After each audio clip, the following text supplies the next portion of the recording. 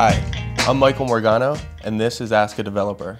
Our question today comes from David, who asks, what possibilities does the new Chromecast SDK provide for developers?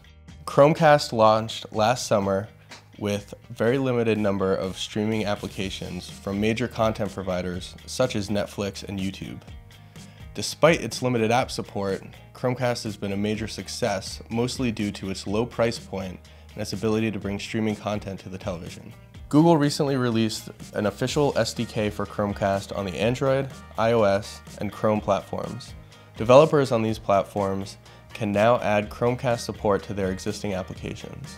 The SDK allows apps on these platforms to communicate with a web app hosted in a modified version of the Chrome browser running on the Chromecast device. This provides an easy way for developers to stream media from a remote server to a television. Now that the SDK is open, we can expect to see more innovative apps that are not entirely focused on media streaming. Potential possibilities include gaming, as well as the long sought after feature of mirroring an Android device display on the television. Chromecast has been very successful since its release, but its full potential is only now being unlocked that the SDK has been released to developers. That's it for Ask a Developer. You can tweet your questions to us with hashtag AskADev or leave them in the comments section.